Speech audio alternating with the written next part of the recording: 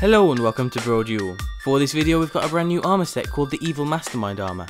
It's made by Zero Frost. For those of you that remember the Blood Witch armor or the Silver Dragon armor, he made those great armors too.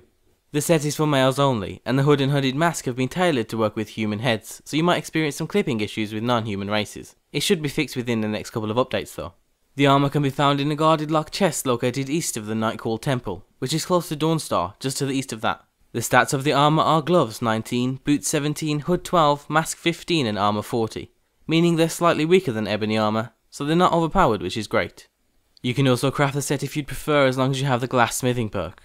All of the textures of the armor are extremely high resolution, and knowing that it's been made by Zero lets you know it's going to be of a high quality, given his previous modding experience. We really like the dark and stealthy feel that the armor gives off, it's definitely designed with a character who loves to sneak around in the shadows in mind. And the hood and mask are both great alternatives. It's nice to have some extra choice when it comes to armor sets. Something we really want to stress is how detailed this armor set is. Even zoomed in as close as you can get, the textures look incredibly crisp and clear. It definitely makes this armor set special. Don't forget to show Zero Frost your support by giving him an endorsement so he can make more of these incredible armor sets, and thanks for watching.